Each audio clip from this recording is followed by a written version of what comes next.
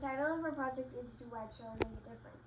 What our project is about is we are seeing if antibacterial wipes actually make a difference to how much bacteria there is and see if it makes them feel better about it.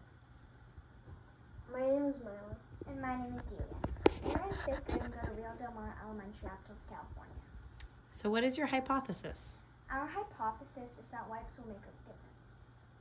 We, we, Why is that? we think this because everyone is wiping things down because of COVID and they think it'll help get all the bacteria away.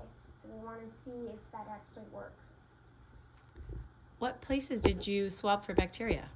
We swabbed a table at Burger, nail polish at Rite Aid, a railing in front of Wonderland Toys, and room 12 doorknob at our school. What was your process? First, we gathered all the materials. Then we went to our place to get the swabbed. One swabbing right as we got there, and then swabbing after we wiped it well. What were your results? Our results was that wipes don't make that big of a difference.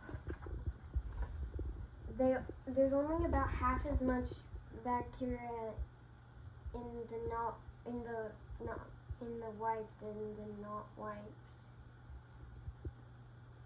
And so, and so, what was your final conclusion? Our conclusion was that